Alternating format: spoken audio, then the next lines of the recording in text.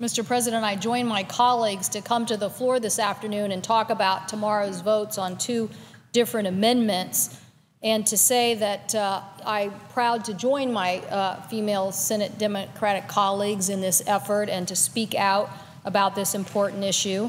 To me, the American people have sent us a clear message. They want us to focus on job creation, on promoting innovation, and putting Americans back to work. But instead, tomorrow we'll be on the Senate floor trying to defend access to health care for women.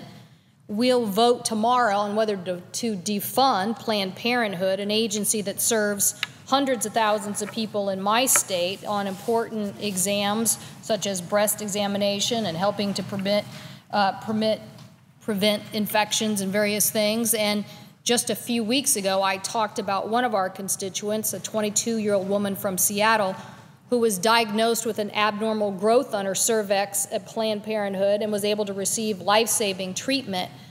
Uh, she was uninsured, and without Planned Parenthood, she would have not been able to get that kind of treatment, and certainly her health would have been in major danger in the future.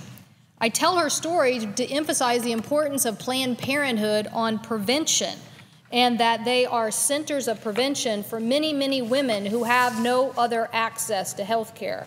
And so we cannot jeopardize the access to that preventive health care at a time when it's so important for us to reduce long term costs. In fact, even in the investment area, every dollar invested in family planning and publicly funded family planning clinics saves about $4.2 in Medicaid related costs alone. So, prevention of health care is good for us in saving dollars, and it's certainly good for our individual constituents who have a lack of access to health care. That's why I'm so disappointed. And the situation that we're having now, where our colleagues are saying to us, you can get a budget deal, but you have to defund women's health care access to do so. The avoidance of a government shutdown has also brought on, I think, a challenge on the backs of women in the District of Columbia because it included a provision denying D.C. leaders the option of using locally raised funds to provide abortion services to low income women.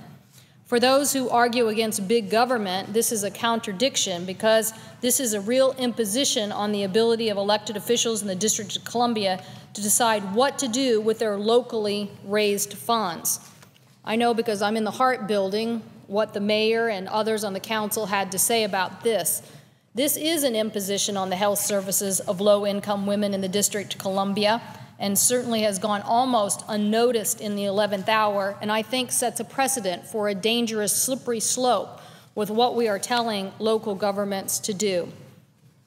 But, Mr. President, it is time for us to focus on our budget, living within our means, and getting back to work, but certainly not to try to do all of that on the backs of women. And it is not time to shut down access to women's health care.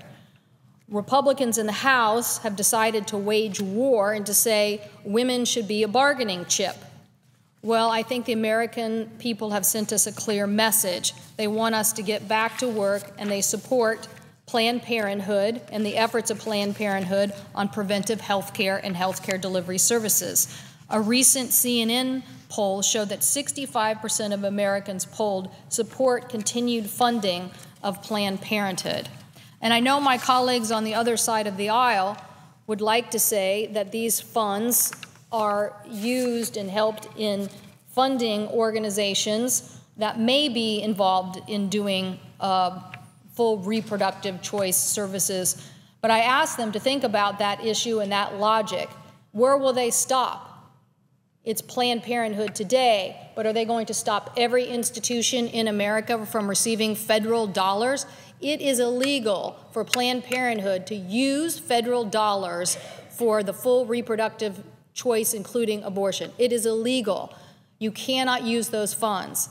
And yet, the other side would like to say that this is an issue where they would like to stop Planned Parenthood today, and then they'll try to stop other organizations in the future. It's time to say no to this amendment tomorrow and to say no on trying to pull back from the full health care funding bill at a time when we need to implement the reforms to keep costs down and to increase access for those who currently don't have access to health care and come back to the system with much more expensive health care needs in the future. So, Mr. President, I'm very disappointed that at the 11th hour of a budget debate that is about living within our means, about how we take the limited recovery we've had and move it forward economically, instead, we are saying that we can't move forward on a budget and a recovery until we take everything that we can away from women and access to women's health care. We will fight this tomorrow, and I'm proud to be here with my colleagues to say we will be the last line of defense for women in America who are going about their busy lives right now, taking their kids to school, trying to juggle many things at home and work.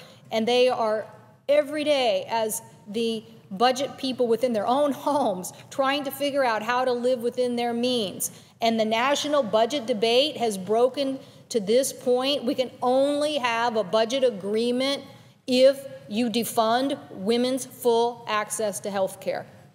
That is wrong, Mr. President, and we will be here tomorrow to fight this battle and speak up for women. I just want to point out to my colleague who is here on the floor from New York that I remember in 1993, in the year of the woman, when so many women got elected to Congress. It was the first time in the House of Representatives we had a woman on every single committee. And the end result of that is we had an increase in funding for women's health research. So much of the research had been up until this point focused on men. Why? Because there wasn't anybody on the committee to speak up about how women had uniquely different health care needs and deserved to have a bigger share of funding for health care needs of women than were currently being funded. That's what you get when you get representation, and the women senators will be here tomorrow to fight to say that women deserve to have access to health care through Planned Parenthood and Title X and please, for those working moms who are out there juggling, dealing with children and childcare, dealing with their jobs, dealing with pay equity at work, dealing with all of these other issues that women are struggling with, that they don't have to be a pawn in the debate on the budget. That there are people who believe, just like the majority of Americans do, that we should move forward with this kind of preventive health care for women in America. I thank the President and I yield the floor.